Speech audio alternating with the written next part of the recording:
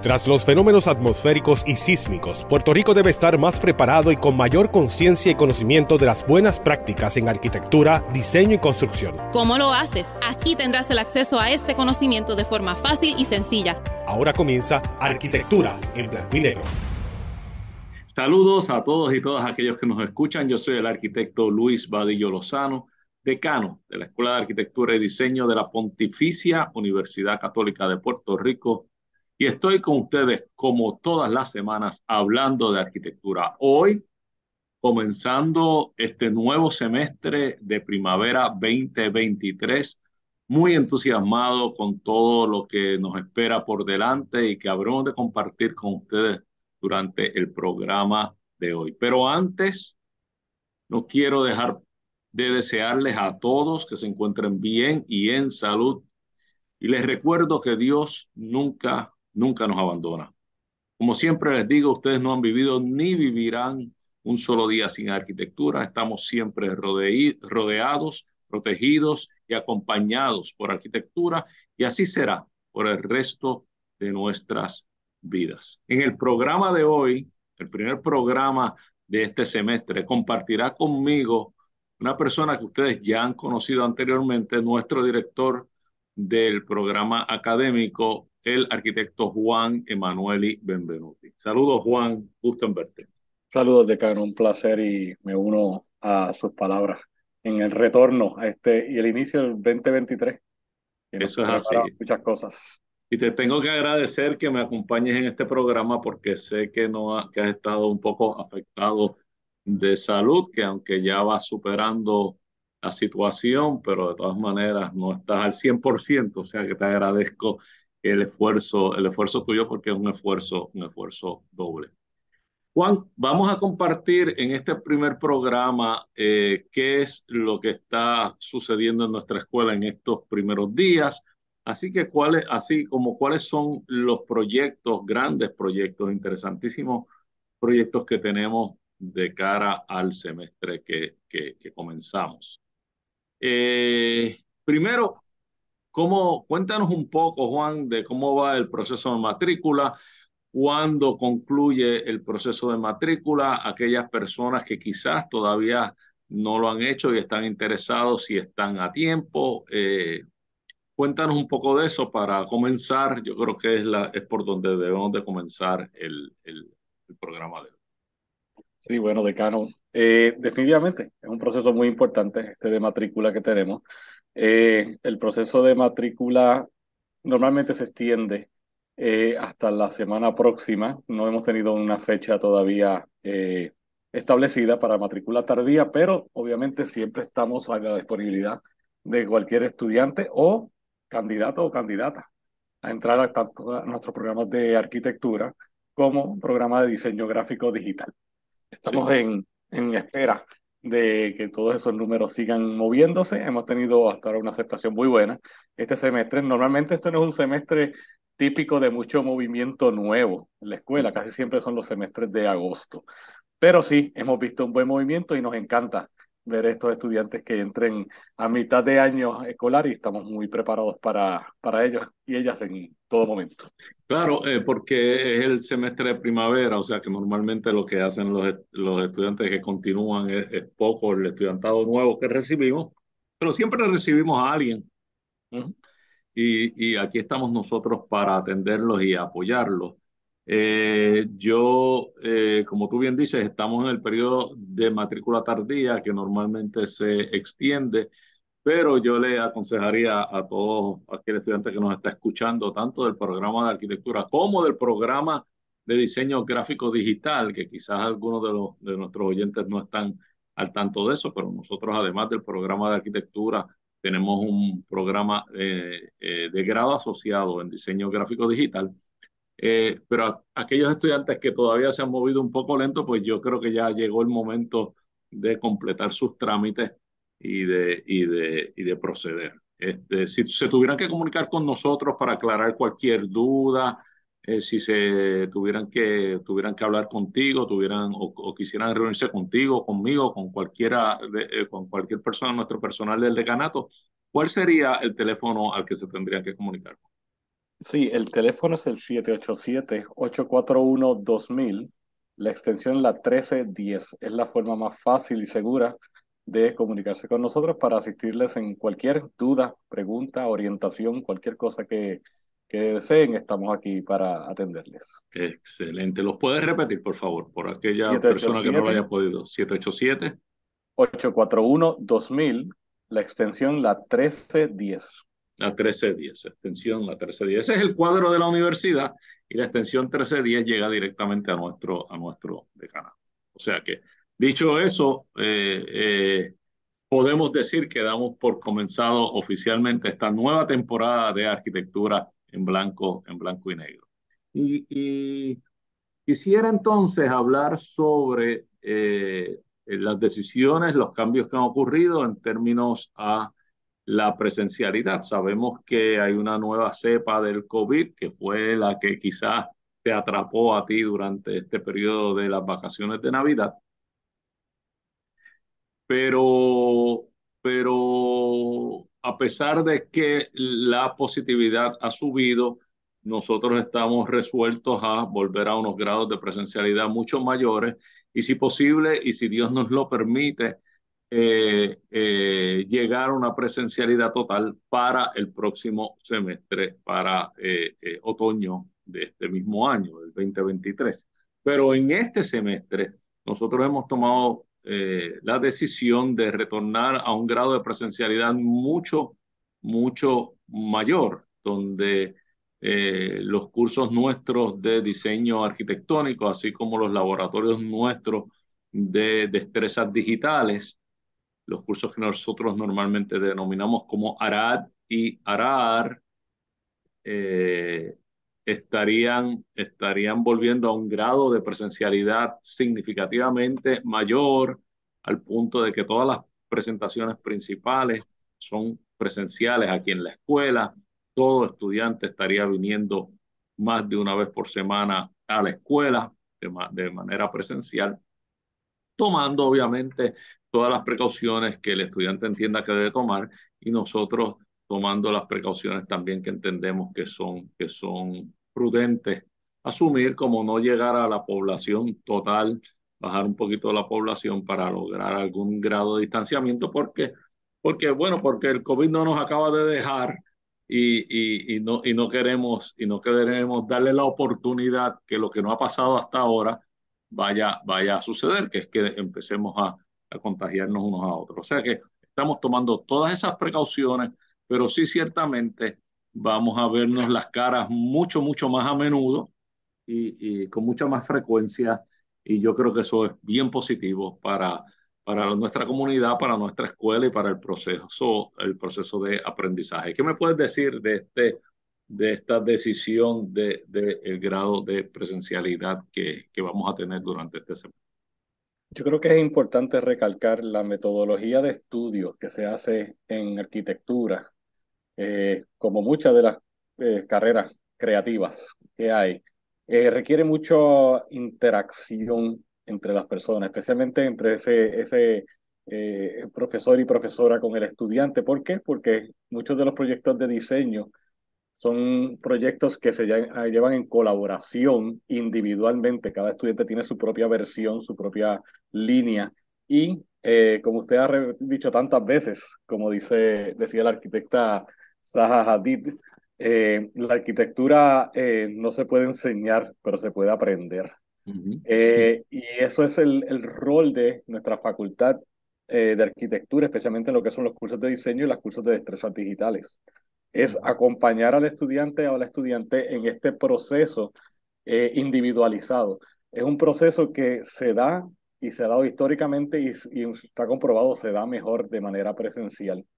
Tuvimos unos cuantos semestres donde eh, definitivamente tuvimos que ir en, la vía alterna, eh, de forma remota. Se logró hacer, muchas herramientas digitales nos ayudaron a hacerlo, pero nunca va a ser lo mismo. Siempre ese, esa interacción eh, entre profesor y profesora con los estudiantes es de suma importancia en el diseño y ya estamos listos, ya estamos listos para empezar, los estudiantes ya están listos para, para hacerlo también y volver a lo que, a lo que estábamos antes de esta pandemia que tanto nos ha, afectado. Sí, la pandemia, los huracanes, los terremotos, porque todo ha sido una cosa encima de la otra.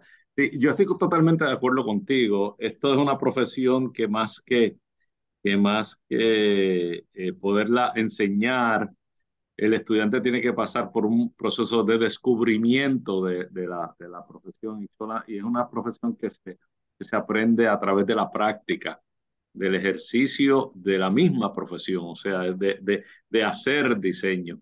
Y ese diseño conlleva un proceso de, de, de tratar eh, eh, y, de, y de errar y de corregir, eh, que va de la mano con un contacto muy estrecho entre el, entre el facultativo y el estudiante, donde el estudiante presenta el progreso de sus trabajos y el facultativo pues opina sobre ellos y da consejos en base a su experiencia, en base a su conocimiento. Entonces, cuando esto ocurrió, cuando, como tuvo que ocurrir eh, durante los peores momentos de la pandemia a distancia, el proceso de, aprendizaje se ve, se ve afectado, o sea que ya es hora de, de retornar. Yo creo que lo hicimos lo hicimos bien, los estudiantes nuestros y la, y la, facultad, yo creo que hay que darle una medallita a todo el mundo porque la verdad es que hicieron, hicieron un gran esfuerzo y se hizo, eh, se hizo una labor encomiable durante, durante el distanciamiento, pero ya, ya nos llegó el momento. Yo creo que ya nos llegó el momento de retornar y lo vamos a hacer de manera ordenada, de manera responsable, eh, como mencioné anteriormente. Eh, bastante más presencialidad este semestre eh, y eh, comenzar un tránsito hacia presencialidad total eh, el, el, próximo, el próximo semestre. Y de esta manera recibimos nosotros el 2023 luego de haber tenido una, una, una feliz Pascua de Navidad, una despedida de año, eh, la, la, celebración de la Epifanía de los Reyes, de los tres santos reyes, y tenemos y, y, y venimos recargados con, con, energía. Espero que aprovecho para, para, para dejarles saber que espero a todos aquellos que nos están escuchando y que nos están viendo que hayan tenido oportunidad de compartir con su familia, eh, de unirse, de unirse durante estas lindas fiestas de Navidad, esta Navidad que es tan larga en Puerto Rico y tan bonita y que, y que todo el mundo haya tenido la oportunidad de recargar baterías y comenzar con nueva energía este, este año que tan, que tan positivo se, se, se, presenta. Yo me siento muy, yo me siento muy positivo acerca de este 2023. Yo no sé cómo te, cómo te sientes tú, Juan. Quizás nos puedes compartir. Yo sé que no, con tu, con tu, con tu condición de salud, pues no, no, no te debes de sentir en este momento eh, eh, el más animado, pero pero, eh, pero yo veo el 2023 eh, con, con, muy buenos, con, con muy buenos ojos eh, y con un muy buen auspicio. ¿Cómo tú lo ves? Yo en realidad, mi esperanza mayor en todo esto de la, de regreso a la, a la presencialidad, para mí lo más importante es volver a hacer escuela. Uh -huh. Volver a hacer escuela. La escuela de arquitectura, todo el mundo que ha estado en escuela de arquitectura eh, si no, pues, se le puede explicar. Es un ambiente bien peculiar. Es un ambiente de, de mucha camaradería, de, de mucha eh, ayuda entre estudiantes, de, de, estar trabajando en proyectos en, en, en a todas horas.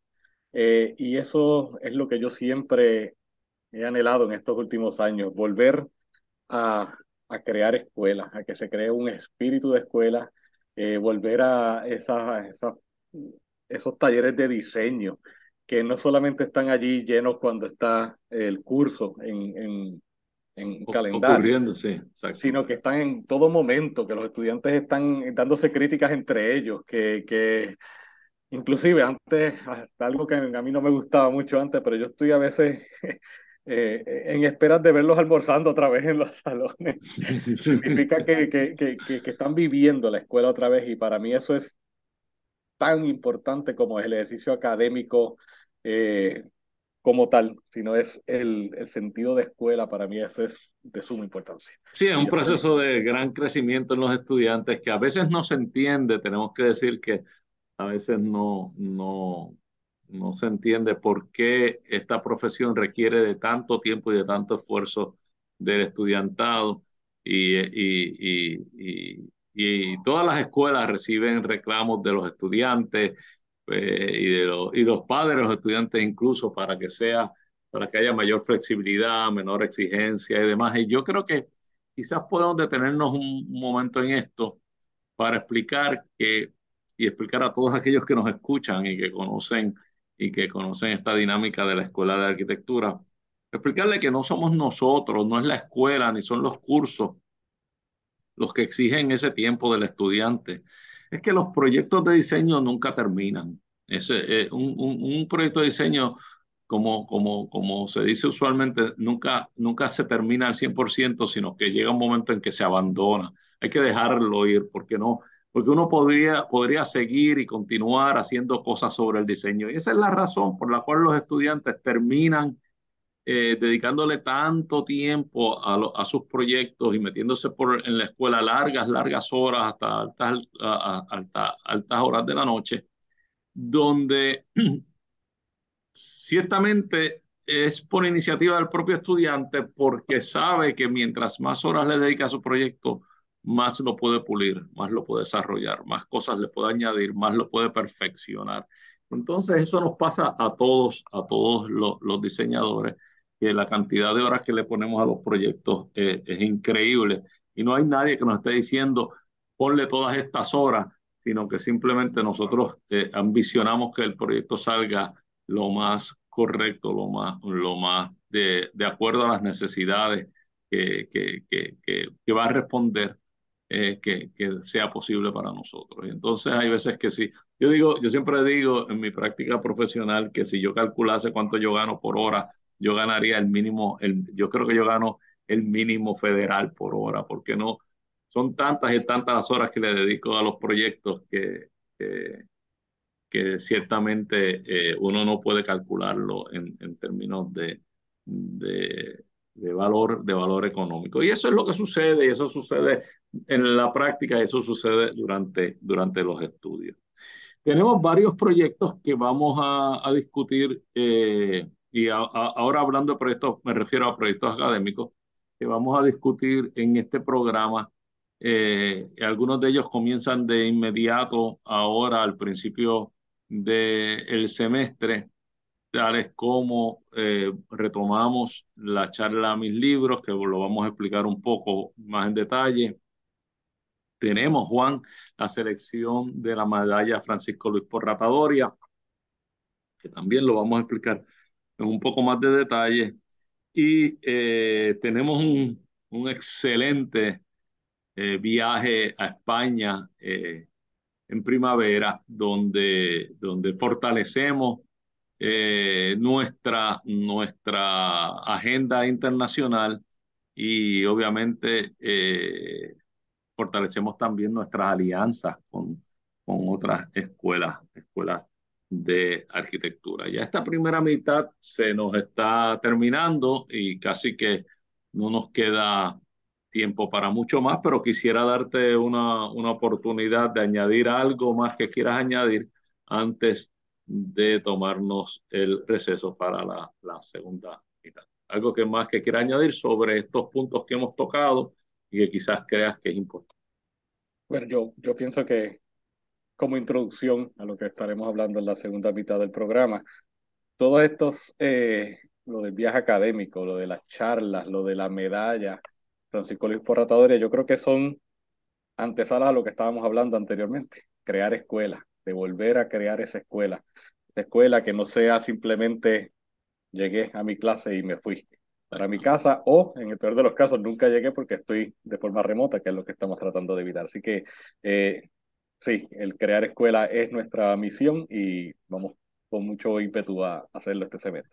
Eso es así, eso va a ser así. Yo confío en Dios que nos va a estar acompañando y apoyando en todos estos esfuerzos. Y como tú dices, estos, estos proyectos académicos que vamos a compartir con nuestro público en la segunda mitad vienen precisamente a fortalecer esa agenda y ese, y ese interés. Sin más nada, este es Arquitectura en Blanco y Negro. Eh, vamos a tomar un, unos minutos de descanso, pero volvemos con ustedes inmediatamente en la segunda mitad. No se retire nadie, no me deje solo, Juan. Este, nos vemos en unos minutos. Arquitectura en blanco y negro. Arquitectura en blanco y negro. Amigos, aquí de regreso, yo soy el arquitecto Luis Badillo Lozano, decano de la Escuela de Arquitectura y Diseño de la Pontificia Universidad Católica de Puerto Rico y esto es Arquitectura en Blanco y Negro. Les invitamos a que nos busquen en YouTube bajo el mismo nombre, Arquitectura en Blanco y Negro, donde todos los jueves encontrarán nuevos contenidos. En este programa compartiremos con ustedes conocimientos de esta bella profesión de la arquitectura, aquellos que les sirvan para evaluar, saber exigir y saber apreciar la buena arquitectura. Nuevamente, como les deseé al comienzo, espero que se encuentren bien y en salud y que hayan podido disfrutar de unas felices fiestas de Navidad junto a sus seres queridos y que este nuevo año 2023 les depare mucha salud, mucha paz y mucha, mucha felicidad. Sin más nada, continúa conmigo y se lo agradezco. Nuestro director, el arquitecto, nuestro director del programa, el arquitecto Juan Emanueli Benvenuti. Saludos, Juan. Saludos, decano.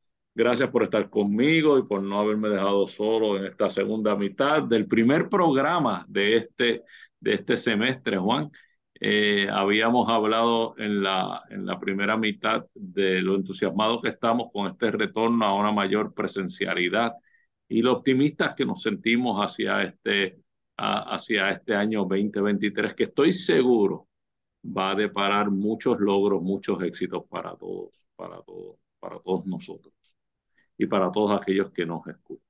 Entonces hicimos un compromiso, Juan, de que íbamos a compartir en más detalle en esta segunda mitad cuáles van a ser aquellas actividades que van a ocurrir durante eh, eh, este semestre, o debo decir, durante el comienzo de este semestre, porque surgirán otras más, pero ahí estas son actividades que ya tenemos en calendario y que son muy importantes para nosotros. Y quería darte la oportunidad que comenzaras mencionándonos eh, eh, algunas de ellas. Sí, bueno, como mencionamos en la primera parte del programa, eh, el retorno a una mayor presencialidad también tiene que ver con el retorno a, hacer escuela. Obviamente nuestra comunicación con los estudiantes y la facultad es de suma importancia, así que lo, por lo primero que vamos a empezar en el semestre ya, tan, tan cercano como la semana próxima, el 25 de enero, Vamos a tener nuestra asamblea general, tanto para estudiantes y facultad, para poder eh, básicamente hacer este casi pep rally de comienzo de semestre eh, y poder comunicar todo lo que tenemos que, que comunicarle a los estudiantes. Siempre tenemos la opción de comunicarnos por diferentes medios, pero no hay nada como una comunicación directa y en vivo para que los estudiantes se sientan que están siendo, y la facultad también, para que se sientan que son parte de, de la escuela y que, y que quede claro de cuáles son los objetivos del semestre, a lo que aspiramos, eh, lo que queremos hacer y las actividades que nos van a, eh, las que tenemos ya en calendario y las que faltan, porque siempre habrán otras actividades que saldrán. Que surgen el camino. Exactamente, este próximo miércoles, como tú bien dices, tenemos nuestra asamblea van a ser dos sesiones, como tradicionalmente nosotros hacemos, para poder, para poder reunir la mayor cantidad de personas. Es una asamblea general, o sea que incluye la administración, la facultad y los estudiantes, y estaremos compartiendo con ellos lo que son las aspiraciones nuestras, las aspiraciones de todos y el camino en que, en que haremos, en que habremos de establecer para, para eh, ciertamente alcanzar esas, esas aspiraciones. Y la principal aspiración aspiración que siempre ha sido la primera en nuestra escuela es aquella de la excelencia. Queremos mantenernos en, el, en, en, la excelencia que hemos alcanzado, queremos retomar nuevas energías en ese, en ese esfuerzo y, y para eso se necesita eh, compartir, escuchar y aclarar y aclarar dudas. O sea que sí, esa es la primera actividad, tienes toda la razón. Te agradezco la que, que la menciones porque estuve a punto de, de, saltar a las actividades más de índole académico, pero esa es una actividad eh, muy importante para toda la comunidad. Es donde nos sentimos, como tú bien dices, nos sentimos escuela, nos sentimos comunidad. O sea que, qué bien, gracias por haberlo compartido. La siguiente actividad que tenemos planeada y es ya prontito porque eh, es una actividad que ocurre, eh, que ocurriría el, el, 8, el 8 de febrero, es, es una actividad que yo siempre lo digo, me queda bien cerca del corazón porque es una iniciativa que establecimos en nuestro decanato sobre que se llama la charla Mis Libros. La charla Mis Libros tiene el propósito de que un profesor o un estudiante presente un libro de su, de su, de su interés, de su gusto, de su preferencia y que se lo presente a la comunidad para que estimule, para estimular la lectura y estimular el uso de la biblioteca. Eh, siempre, siempre es muy bien atendida, eh, hay mucha y muy buena asistencia durante, esta, durante estas charlas y el resultado eh, es, el, es el esperado. La gente como que eh, empieza a, a, asistir y a utilizar más nuestra biblioteca, que es un, quizás el lugar favorito mío en toda, en toda la escuela. Pero quizás me puedes hablar un poquito de esta primera charla Mis Libros que va a estar ocurriendo el 8 de febrero. ¿Quién es el profesor? ¿Cuál es el libro? Etcétera. Sí, bueno, la charla Mis Libros para el 8 de febrero va a estar a cargo del profesor y arquitecto Ricardo Miranda Pérez. Eh, el título del libro eh, que, está, que va a estar presentando es, eh, no sé si lo tiene escrito en este momento por ahí. Sí, lo tengo, el, se llama La arquitectura y los sentidos y es de un, el, el, autor espero decirlo correctamente, si no me excusan, Joami Palmar. Joami Palmar. O sea que estamos hablando de un libro que va dirigido hacia eh, eh, la intervención o la participación de todos los sentidos del ser humano en al momento de hacer arquitectura o de apreciar o de apreciar eh, arquitectura. O sea que yo creo que debe ser, contando con un profesor eh, como, como lo es como lo es Ricardo Miranda, que es uno de nuestros profesores más destacados, estoy seguro que va a ser una charla interesantísima y que tanto los estudiantes como la facultad debe, debe de disfrutarlo grandemente. O sea que qué bueno que comenzamos con, con una actividad tan tempranito que va a despertar la inquietud, como decimos nosotros tantas veces, tantas veces la inquietud intelectual en nuestra, en nuestra comunidad. Luego de eso tenemos una de nuestras actividades e, estrella, sino la actividad de mayor importancia aparte de la graduación en nuestro año, en nuestro, en nuestro año escolar, que es la medalla Francisco Luis Porrata Doria. Quizás puedes hablarnos un poquito de que en qué consiste, en qué consiste la medalla eh, para que nuestro público esté, esté al tanto de qué estamos hablando cuando nosotros hablamos de la medalla Francisco Luis Porrata. Sí, la medalla Francisco Luis Porrata Doria es el mayor galardón que es propio de la Escuela de Arquitectura y Diseño Rafael Hernández Colón. Eh, está básicamente hecha en honor a Francisco Luis Porrata Doria, eh, básicamente el, diseñador y arquitecto de el edificio Forteza donde estamos y de muchas otras edificaciones, tanto en el sur y oeste de Puerto Rico. Eh, la importancia de la medalla Francisco Luis Porrata Doria es que no, no compite con lo que son las medallas que se pueden dar al final de un año, las medallas institucionales, que son por mérito de, de, promedio, ese tipo de cosas, sino que esta es una propia de nuestra escuela y está eh, diseñada para eh, traer lo que es lo mejor del diseño como tal. Mucha gente pregunta si, si hay una coincidencia entre recipientes de la medalla Francisco Luis Porratadoria y lo que son las medallas del presidente, las medallas que tienen que ver con las graduaciones. Puede que sí, puede que no, pero eh, eh, básicamente en la medalla Francisco Luis Porratadoria lo que está buscando es excelencia en diseño. ¿Qué significa? No necesariamente es el promedio más alto en arquitectura, solamente se, eh, se consideran los estudiantes que se hayan graduado en el año anterior a esta, esta medalla. nosotros la vamos a tener ahora en, en el mes de febrero, o sea que estamos viendo son los mejores casos de proyectos de fin de carrera, diseño, de estudiantes y estudiantes graduadas y graduadas en el semestre pasado, el año pasado, el 2022. El año eh, pasado. sí, hasta el del 2021-2022, básicamente. Sí, porque lo que busca la medalla es reconocer la excelencia en el diseño escogido por aquellos proyectos de fin de carrera. Por eso es que tenemos que esperar a que los estudiantes se gradúen, porque una vez ellos completan los proyectos, entonces, y esta es la parte interesante, es la facultad quien escoge los proyectos que van a competir y es la facultad quien los presenta ante el jurado, un jurado que vamos a hablar de él inmediatamente.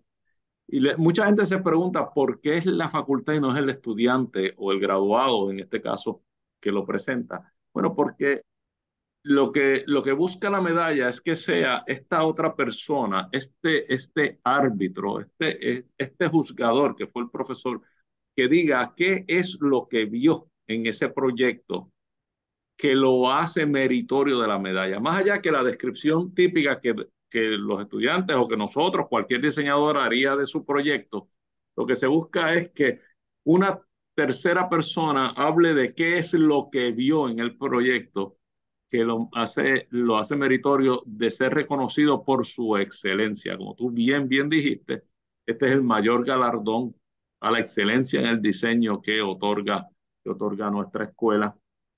Y ciertamente eh, es una tradición que ya todo el mundo está pendiente, pendiente de ella y los estudiantes es algo que ciertamente pues les motiva muchísimo, que es lo que se busca, la medalla también que se motive a la búsqueda, a la búsqueda de la excelencia. Y este año tenemos un, un, jurado de lujo, eh, tenemos a la directora del, del, programa de arquitectura de Caribbean University, eh, eh, de la Universidad de UTEC en, en Kingston, Jamaica, la arquitecta Jackie Ann Lawton. Tenemos a uno de los arquitectos más destacados en Puerto Rico con unos proyectos de, de excelencia, el arquitecto Fernando Lugo y tenemos al director del programa de arquitectura, o debo decir la Escuela de Arquitectura de la Universidad de Alcalá, a la que volveremos dentro de un momento, el arquitecto Enrique Castaño. O sea que tenemos, esos tres son nuestros jurados invitados a, esas, a esos tres excelentes profesionales. Se le van a hacer las presentaciones de los proyectos y estos, y estos profesionales escogerán entre los mejores. Me parece que lo que tenemos son siete proyectos este año, no son, sé si son seis o siete, me parece que son siete proyectos. Entre los siete mejores, el mejor de los mejores. O sea que ciertamente es un reconocimiento de cual cualquier estudiante que lo recibe se lo lleva, se lo lleva con mucho, con mucho orgullo.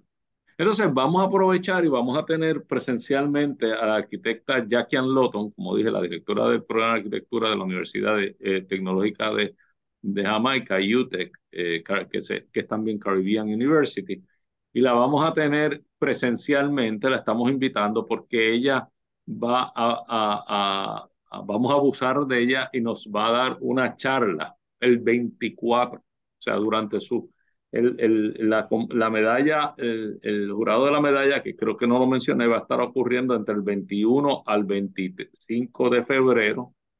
Eso es un sábado, el 25. Y justamente en el medio, el 24, Jaquian va a estar ofreciéndonos una charla interesantísima sobre eh, la historia, el presente y el futuro desarrollo de la, de la ciudad de Kingston, la capital de Jamaica, eh, para mí me despierta un particular interés porque Jamaica y Puerto Rico son dos islas próximas en, eh, eh, en, términos, en términos de distancia, pero muy lejos en términos culturales. Y son, y, y, son unas islas que son casi del mismo tamaño, casi tienen la misma población. O sea que hay muchas, muchas coincidencias entre nosotros, pero nos conocemos muy poco. O sea que la visita de ella le va a permitir a ella conocer más a Puerto Rico y, y, su conferencia nos va a permitir a nosotros conocer más de, de Jamaica y estrechar los lazos de una alianza eh, académica que ya de por sí existe con la Universidad de UTEC, pero que ahora, obviamente con la pandemia y demás, no pudo, no dio mucho, muchas oportunidades para estrechar los lazos, pero ahora, pasada la pandemia, yo creo que vamos a poder, vamos a poder fortalecer, fortalecer esos lazos. Y, y casi, casi que también nos está sucediendo con Enrique Castaño, porque aunque Enrique, que está en España, no viene para acá, nosotros tenemos una alianza también académica con la Universidad de Alcalá en Alcalá de Henares, España.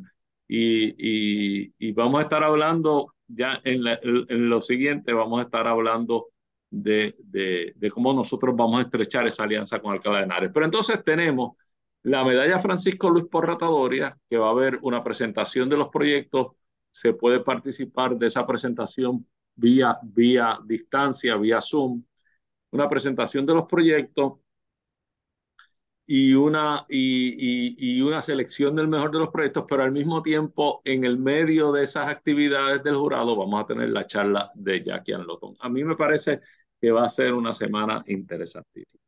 Y después de esto, ya en calendario, tenemos el viaje, un viaje de estudio que tuvimos, lo mencionaste, del 21 al 31 de marzo. ¿Nos puedes hablar un poquito de ese viaje si quieres? El viaje eh, a España eh, básicamente está buscando reunir estudiantes de distintos eh, búsquedas de conocimiento en mayormente para cubrir lo que son créditos electivos de lo que son nuestras concentraciones menores, que son requisitos de la escuela. Así que es bien interesante porque va a ser un viaje de tres paradas básicamente. Se va a estar yendo a, Madrid, eh, se va a estar yendo a Segovia, se va a estar yendo a Alcalá de Henares. Ya tenemos allí, obviamente, eh, se hizo ya un poco de preámbulo que tenemos eh, alianzas con esta universidad y vamos a, buscar también que se sigan persiguiendo y engrandeciendo un poco más esta, estos eslabones de cooperación académica para, para hacia el futuro y poder crear. Siempre lo que aspiramos es que esto se convierta en un, en un viaje continuo, eh, que otros estudiantes puedan aprovecharse también y seguir haciendo que esos enlaces sean cada vez más fuertes.